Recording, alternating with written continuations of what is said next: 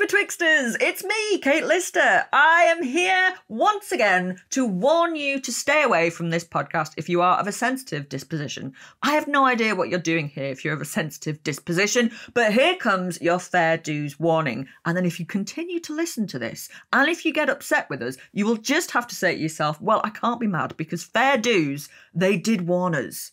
Here we go. This is an adult podcast spoken by adults to other adults about adulty things in an adulty way, covering a range of adult subjects, and you should be an adult as well.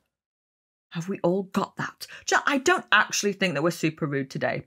But to be honest, I've become so desensitized to what is rude anymore. My bar for shocking is so high, I don't even know. Is perfume a scandalous subject? Because that's what we're talking about today. It's a fascinating subject, absolutely. It's not particularly rude, or we will be talking about some pretty minging stuff in the city of Paris, you know, like just rotting, horrible, stinky stuff that might make you gip a bit. I'll definitely be swearing, but I think you can handle this one, Betwixters. Definitely. And I am ready if you are.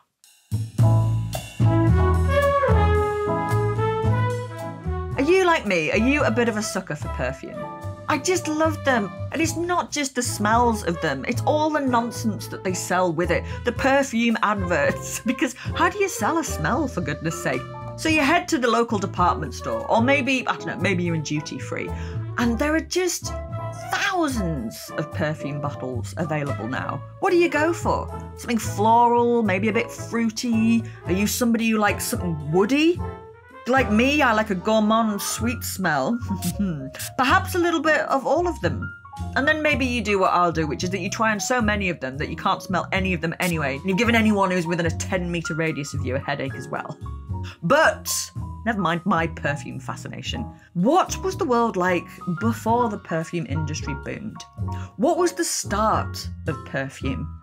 What did our ancestors smell like? What was a sexy smell in the 19th century? What did the celebrity smell like? What did royalty smell like? What did you want to smell like? And how would you get those perfumes? Hmm, all good questions. And today, betwixt the perfume sheets, we are gonna find out.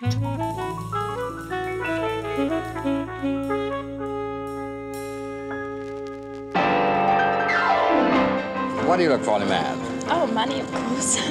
You're supposed to rise when an adult speaks to you. I make perfect copies of whatever my boss needs by just turning a knob and pushing a button.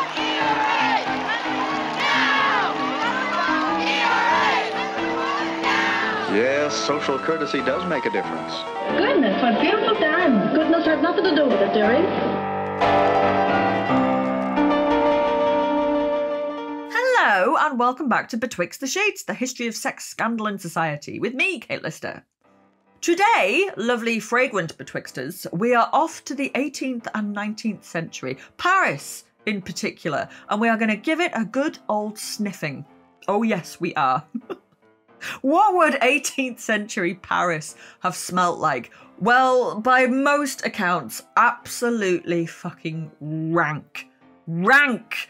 We think of it as a sophisticated, romantic city, a fragrant city, no doubt. But in the 18th, 19th century, like most mass cities across Europe, it stank. Fish markets, butchers, upturned chamber pots, sewage flowing freely in the city's waterways, overfilled cemeteries, food rotting in the streets, dead animal carcasses. I mean, it's just minging. This was a long time before you put out the wheelie bins every week. Rubbish and filth just rotted in the streets. And then there were the perfumiers, and you would need some damn perfume, wouldn't you?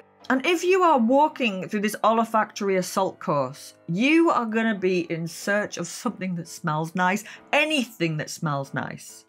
Enter the art of the perfumier with their many boxes and jars and herbal this and that and essential oils and ambergris, and their whole thing is about attempting to counteract the utter pong that exists around every single person. But what were the perfumiers Edouard Laugier and Auguste Laurent looking for? Apart from a northern woman in 21st century who could pronounce their names correctly. I'm very sorry. Oh, but what else were they looking for? They weren't just looking for nice niffs, you know. Oh no, they were looking to answer a deeper question. They were trying to work out the secret to life itself and smelling pretty damn good at the same time. Today, I am joined by Theresa Levitt, author of Elixir, to dive deeper into this world. Nostrils at the ready, let's do this.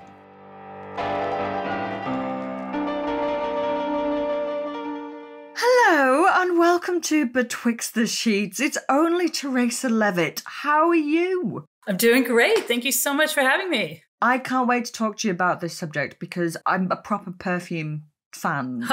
Wonderful.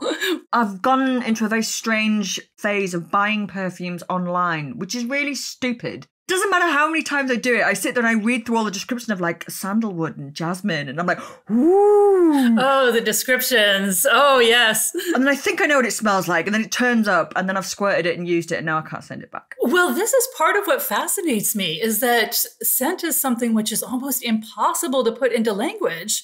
But that means that these perfume advertisements have this incredibly evocative poetry to them that's really very appealing.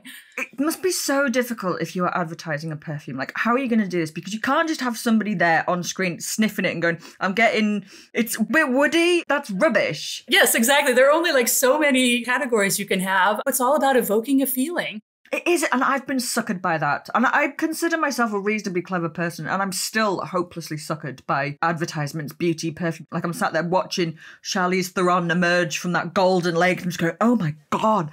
I don't know what she smells like, but I need to smell like that as well. Yes. And of course, part of the trick is that what it's actually going to smell like is some amalgam of the perfume and your own scent and skin. So, you know, it's all a bit of alchemy in the end. It's a fascinating history because as long as there have been humans, there have been nasty niffs around. Yes. yeah. We've always been concerned about smelling good and smelling attractive, haven't we? Um, absolutely. In fact, part of my claim here is that the practice of chemistry, if you have its roots down to alchemy, like the first things that people were trying to really isolate and distill were the scents of plants and perfumes. I mean, it's really sort of very deeply rooted in our effort to try to interact with the natural world and try to understand it and control it. Are you one of those super smellers, people that can really intensely smell smells? No, I've I've always sort of enjoyed smelling things. And, you know, to a certain extent, you can train yourself a little bit, but there are lots of people that put me to shame. One of the things I love about your research is that you are looking at the science behind this. Before we get into the history, you said about smell being so evocative and that you can't really put it into words.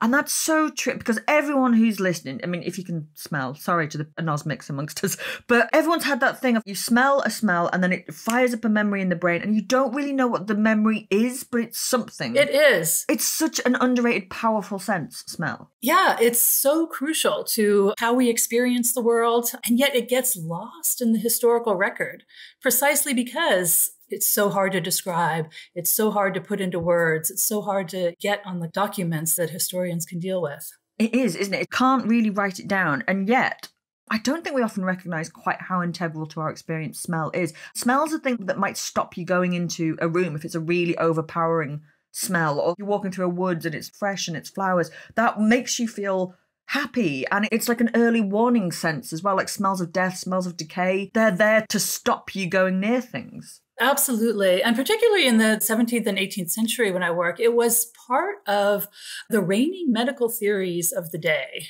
Smell was the crucial indicator of what was healthy and what was unhealthy.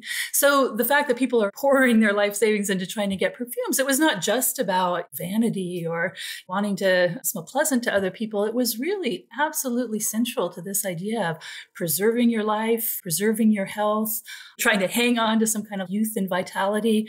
And we can laugh at them now and say, well, diseases aren't carried in smells. But for the time, that really was the best indicator that they had of things they should avoid and things that they shouldn't. Yeah, I think you can laugh at it and be like, oh, it's so silly. But there is method in the madness because they believed in something called miasmas, which was that a bad smell carried a disease. But if you think about things that produce bad smells, quite often they do carry diseases right? yes. And our noses are extraordinarily good detectors of these things. I mean, we couldn't hope for a better way to try to pick up on something that's decaying or something that's decomposing. And I want to extend a bit because the idea that disease is carried in miasmas was definitely part of it. But in a way, it was actually even deeper than that because smell had actually been associated with the process of life for centuries. And part of the chemical theories was that you can ask the question of how are living things different from non living things? And one of the answers is, well, they have this complexity to them. How do they get this complexity? So the idea is you start with something undifferentiated, like maybe a seed, and then this can grow into something enormously complex, like an orchid. How does this happen? Well, they said it was governed by something called the spiritus rector, which is known as a governing spirit or the guiding spirit. And this essentially was equated with the smell of a thing, because as uh, like a plant grows and develops, its smell is going to mature and sweeten. And so tied back to the idea that alchemy is about trying to capture these essences, the idea is that smell is the most ethereal and volatile component. And it was the most living and vital component that was responsible for why living things are so complex in ways that non living things are. So the idea that you're trying to capture these smells is also an effort to try to capture the living essence and preserve it. And so these things were genuinely thought of as a way to preserve vitality and life. In the opposite direction, the idea that bad smells, they were not only associated with decay, but they actually attacked this organization. Now, when something dies, it loses all of this wonderful living complexity. And that was what the bad smells were. They were undoing of complex living nature. Is this 18th, 19th century? Does this go back even earlier than that? It goes back earlier. So it's a central part of chemical theories of 16th, 17th century. It's still the reigning theory of smell throughout the 18th century. Where I start to get really interested interested is in the 19th century, where you have this sort of advent of what's called modern chemistry after the chemical revolution of Lavoisier in 1889. And all of these chemists, they rush to reject it. It's an outdated mumbo jumbo. The idea that living things and dead things smell different because they're made differently. Yes, that there's a fundamental distinction between living and non living, and that smell is at the center of it. So this is completely rejected and thought of as backwards. However, it turns out that they're actually right. It turns out that there is, in fact, a distinction between living and non living things, and smell is crucially at the heart of it. Can you break that down even more for twits like me? like, to me, a living thing and a dead thing, they would smell different. They would. In fact, that's, as we were saying, quite a crucial, oh, that doesn't smell too great. What does that mean that living things and dead things are made differently? So, one of the great triumphs of the 19th century is that they began to be able to synthesize chemicals. They began to be able to make chemicals in their lab. So, they're able to make these molecules, which in their minds are completely identical to the natural ones growing in plants. So they're able to replicate these scents. This is the whole basis of the synthetic perfume industry. Synthetic chemicals become very important, and you're able to mimic these scents. And so the assumption is well, if we can make them in a laboratory, then clearly everything's just made up of the same kind of matter. It's the same atoms, they're put together in the same kind of way. Clearly, there's nothing fundamentally distinct about whatever's going on in a flower to make that molecule. The trick is that they're wrong, and they don't figure that out until late in the 19th century. But the trick has to do with the three dimensional shape of these molecules. So, in a way, it goes back to this idea of organization that they had that it's not just atoms in a row, they also have a three dimensional shape. And sometimes molecules can come in both a right handed variety and a left handed variety. And if you're making them in a lab, these both show up 50% of one, 50% of the other. It seems all kind of random. But if they're actually growing in nature, you only get one kinds of these varieties. So this is something scientists still don't know why. It's still a mystery. And it's still the case that if you go to try to make stuff in a lab, it's not going to be the same as something that grew in nature. You can never properly replicate what's in nature, even though all the atoms look like they should work. Yes, exactly. So it's chemically identical, but because it has this different shape. And the thing is, is that in all the chemical experiments they would do, you wouldn't really notice it. You only notice it when it starts to interact with another molecule, which also has this kind of shape. But that means because our human bodies have this kind of asymmetry to them. That means that it's enormously important in our interaction with these, which is why they can smell different, why these things which are chemically identical can smell different to us just because of the shape of the molecule. Wow, that sounds so advanced to me. But that was 19th century that they started making these discoveries? Yeah. So, what I found fascinating in the 19th century, all of the most powerful chemists who had all the academic positions, all of them were utterly convinced that there was no distinction between living and non living things, and that the organization aspect wasn't important. However, the inspiration for this book for me was that I found these dissenting voices. And interestingly, they were working in these perfume shops. You first start to notice this unusual action in these essential oils of plants, the really fragrant plants. And so they're the ones who are noticing it first. And they're really absolutely bullied by the academic chemists. Nobody wants to believe them. Sounds about right. yeah. and it takes a very long time for people to figure out exactly what's going on. And it was perfumiers or perfumers, I'm not sure which one it is, that started to argue that you can't replicate perfectly a scent found in nature. Yeah. So they were working together with these physicists. And again, the smell aspect, this idea that often smell gets sort of written out of a historical record was, I think, kind of crucial in all of this. That the papers that are being submitted to the Academy of Sciences don't necessarily go on and on about the smell, but that was one of the guiding principles in a lot of what they were doing do we have a good understanding of what smell is and why smell works now? Or is it one of those areas that's still a lot of like, oh, we don't really know why that does that? Yes. It's absolutely still a giant mystery. I feel like there's several intertwined mysteries in this. One is we don't fully understand how our nose is able to distinguish. It can distinguish what people think maybe like a trillion different smells. It's extraordinary. And people aren't really sure how. And again, this idea of the three dimensional shape of the molecule seems like a crucial part of the story. Also, another mystery bound up in all of this is how did life originate on Earth in the first place? It's thought that if you can figure out why all of these living molecules have this particular asymmetry that can help explain how living things came in the first place. I think a lot of people are surprised that there are still some really huge mysteries left for science to explain. Have you read Perfume by Patrick Süskind. That's one of my favorite books. Oh, yes, it is. It's just such an extraordinary ability to make you feel like you're right there. It's so visceral. And it was reading his book for the first time made me think maybe smell is much more important in just human experience than we think it is. For those of you that haven't read it and do, because it's brilliant, it's about a very young, strange little man called Jean Baptiste, I think. And he is a super smeller like there's been no super smeller before. And he works out that it's smell that makes people like one another or not like one another or treat each other differently or want to be around someone. And it's so fascinating. Is there any basis for that in science? Has there been any research on that done that smell can really impact mood and human interaction? Oh, absolutely. The idea that, you know, you actually sort of suss out who you're attracted to through smell without knowing it. In German, the way you say that you're into someone or that you like them is ich rieche dich, which is I smell you. oh, I love that. That's amazing. And everybody does have their own unique smells. I think I smell very strongly and smell people very strongly. I like that, Germany. Well done. Let's talk about the history of smells a little bit. So, you predominantly researched the 18th and the 19th century.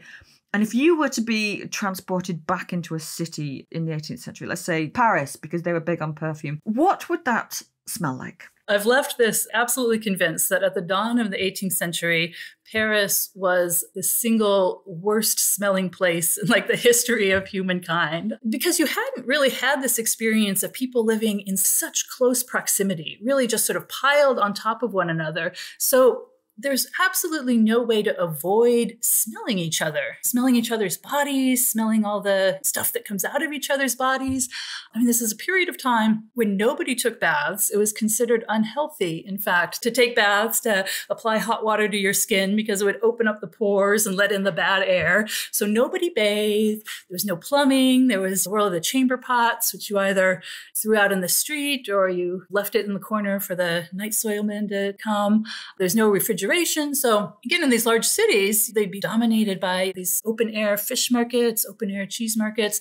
I mean, I think it really was a moment when you could not escape smelling people in a way that was much more intense than it had been if people were living in smaller communities. So it's both the worst smelling moment of history, but it's also this moment when people tried very hard to escape all of this. The creation of Versailles, for example, I mean, there are lots of reasons that go into it, but One of them, I'm utterly convinced, is that the royal family wanted to escape the stench of Paris. And indeed, they put an enormous amount of effort into making sure that every room, every space that they enter is sweetly perfumed. But no toilets in the original Versailles. Is that right? That seems like a massive oversight.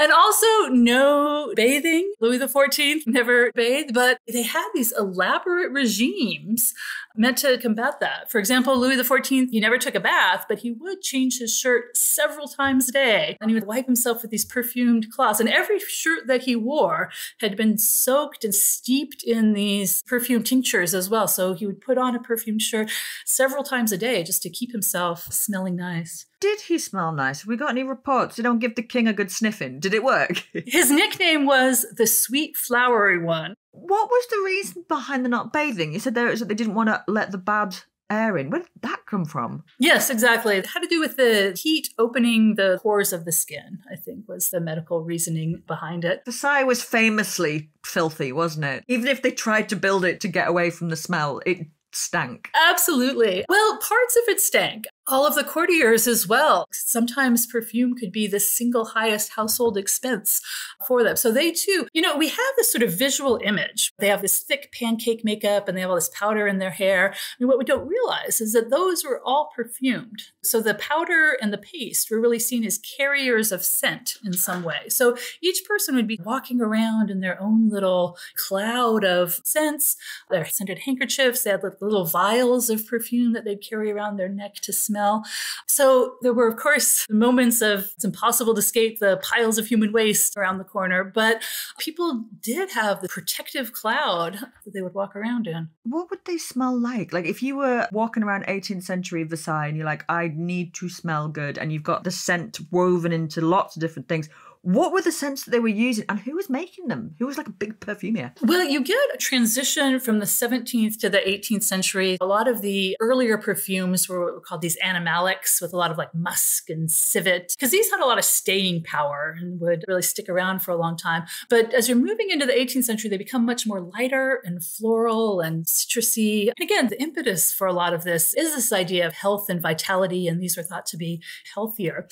And what you see is the entire country of France is essentially transformed to grow flowers for Versailles, particularly in the south of France, in Provence, around Grasse. You get hillsides become devoted to growing flowers. You've got the native lavender from Provence. You know, this is the era of the East India trading companies. They're bringing jasmine from India, they bring in tuberose from Mexico, they're bringing in all of these flowers.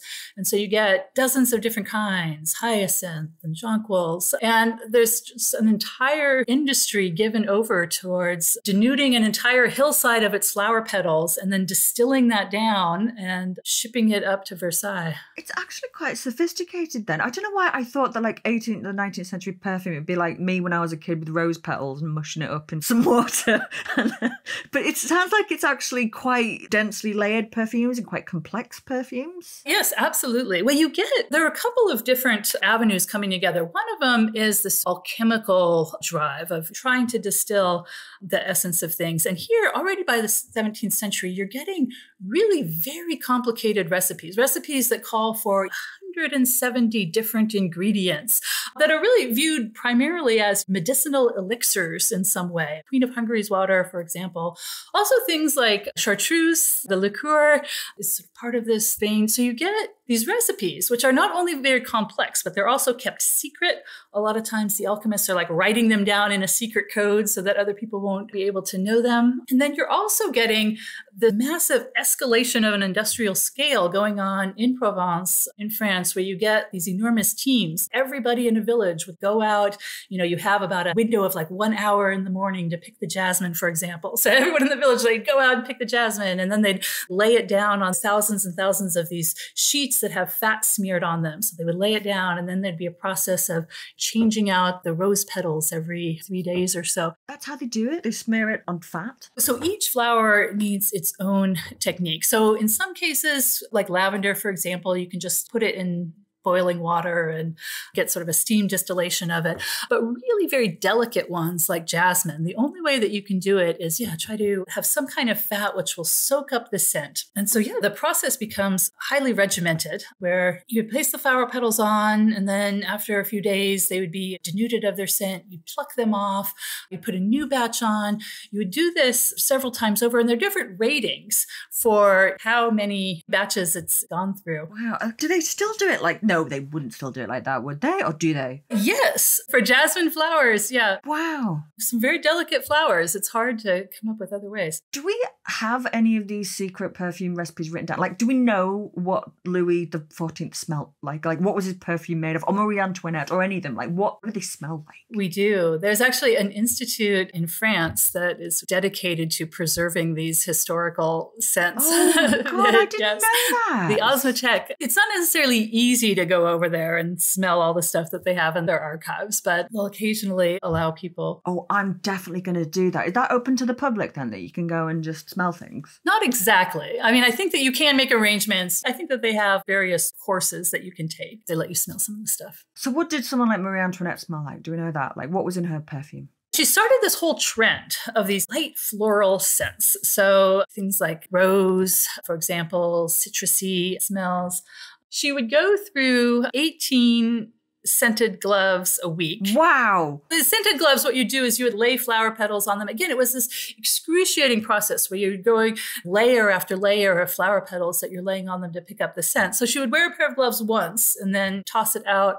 She had this little play farm that she would go for fun. What she liked to do is put perfumes over all of the livestock on her farm so that they wouldn't smell bad. It took an extraordinary amount of effort to get these perfumes. And then they were just being sort of splashed everywhere in the royal court. I don't know if it's true, but I read that she would bathe in strawberries. I mean, that's extra, isn't it? There's people out there starving and she's just having a strawberry bath. But again, the idea of the freshness of the fruits, it's an effort to try to get at what's living and vital in these plants and sort of suck it up for yourself as a rejuvenating elixir. Do we have records of people having personal perfumes made and they're famous perfumers? But do we have any idea of what was the first blockbuster perfume? Like, what was the Chanel number five of the 18th century? Did it work like that? Were there like brands that people get really excited about? Well, there were recipes. It goes back even a little bit earlier, but Queen of Hungary's water is probably the first thing that people would really order. It's a perfume. It actually has a lot of rosemary in it. So for us, it would feel it's not particularly sweet. It would be very pungent and spicy in some ways.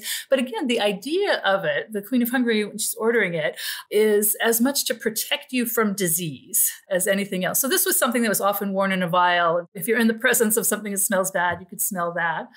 The big breakout is the eau de cologne in the turn of the 18th, 19th century. It had actually been created much earlier. It had been created in the city of Cologne by an Italian importer. So he imported a bunch of fresh fruits from Italy, but this became a way for him to take these mostly citrus fruits. He has like seven different kinds of citrus, and he's distilling it down into something that he's selling. He's calling it the miracle water which is pretty common. That was a pretty common thing, which again was half medicinal, half cosmetic. But it really breaks out at this moment when, during the French Revolution, the French army, you know, expands its way across the Rhine. The French soldiers are in Cologne, so they bring some of this back to Paris, and then there's a little craze in Paris for it, and that's when it starts to become the eau de cologne. That's why it's in French, even though the makers were not French speakers. What's the difference between eau de cologne and perfume? Is there a difference? Well, now there's a designation in the percentage of scent in it. At the time, the word cologne simply referred to the city of Cologne. All of this was is this was the special miracle water that you got from the city of Cologne. And there was also there was an eau de Paris. It was one of several different kinds of recipes, but it becomes the sort of breakout one. Napoleon becomes a huge fan. He goes through pretty much a bottle a day. Wow. A bottle a day. Yes. And you can see for him, it really is not about vanity or being attractive. For him, it's all about harnessing its vital powers. He claims that it makes him think better. So, for example, he'll pour a lot in a bath and then he'll like sit in this bath for an hour while he's reading his correspondence and talking to the people that he works with. He said to like keep a bottle in his boot so that when he needs a little brain boost, he can like sniff it and he thinks clearer. Okay. Okay, that's a powerful perfume. We don't have any idea what that smelt like, though, or do we? Oh, absolutely. We do. There were a hundred different makers back in Cologne. As soon as it became popular, everybody started making it and claiming that they were the original one.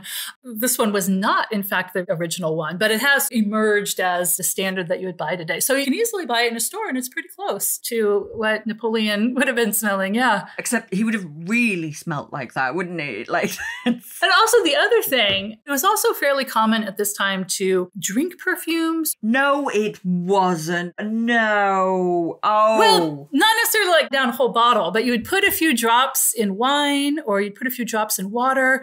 The early one, like the Queen of Hungary's water, you could put some in a spoonful and take it in your mouth. The reason we don't drink perfume now is because they put a denaturing agent in it, which makes it poison. But of course, they didn't start doing that until the late 19th century. So up until then, it was really just like a particularly strong liqueur, is what it was. Wow. Okay. That makes a bit more sense about why Napoleon would be sat in a bath of it and why it would make him think. I love going back this and trying to think what would they have smelt like. I mean, it would be such an integral part of who historical people were. What was their smell? What did Queen Victoria smell like? What did Abraham Lincoln smell like? Yeah, well, you do get trends. In the early 19th century with Napoleon, it was all very, very citrusy and zesty. It was sort of very zingy and ephemeral. Then, towards the middle of the century, you get these sweeter, floral, sort of rose, hyacinth scents. And then, as you're getting into this more synthetic era, it becomes this really interesting question of they start to produce smells that actually don't correspond to anything in nature.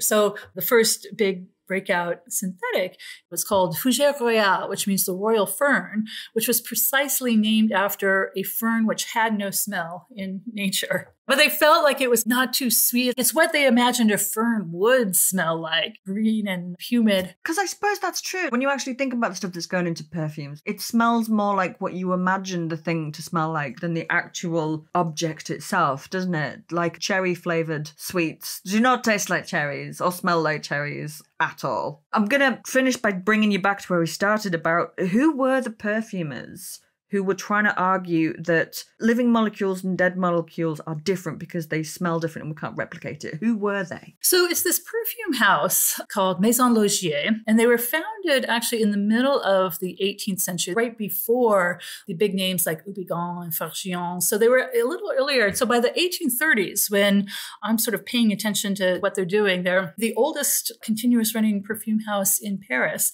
And this is the grandson of the original founder who who has been learning a lot of chemistry. He wants to be a chemist. He brings in a friend of his. Also, they're trying to be chemists, but again, the academic chemists are really being very difficult about letting them into the profession.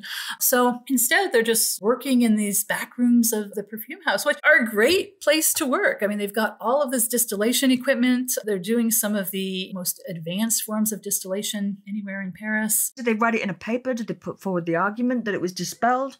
Well, it takes a long time. So one of them writes up this massive treatise where he's like, you know, we can't just think about what atoms are present in a molecule. We also have to think about the arrangement and the organization of this molecule.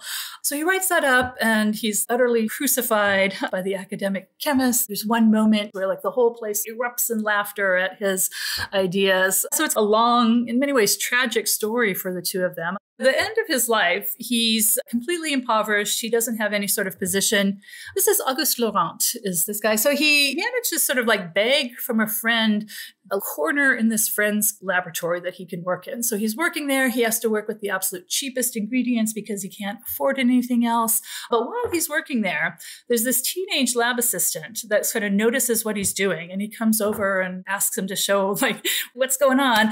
And so this teenage lab assistant actually turns out to be Louis Pasteur, who goes on to make these insights the cornerstone of really all of his work over the next several decades. And so Pasteur is sort of the one who is pointing out that there's actually something very real about this distinction between living and non living things that they're pointing to. And we owe that to the history of perfume. Wow, that is amazing. And my final question to you, Theresa, is what is your favourite perfume? What do you go to? This is a tough one because I'm not a huge perfume wearer. I enjoy being sort of surrounded by scents, but you know, I have to admit, I'm kind of a sucker for these lemony, zesty. Napoleon type smells. You could conquer Europe with that one. They get my brain thinking. oh, Theresa, you've been so much fun to talk to. If people want to know more about you and your work, where can they find you? So you can look for the book on Amazon. It's called Elixir, a story of perfume science and the search for the secret of life. That is amazing. Theresa, thank you so much. I've absolutely loved talking to you about this. Well, I've had a wonderful time. Thank you so much for having me. My absolute pleasure.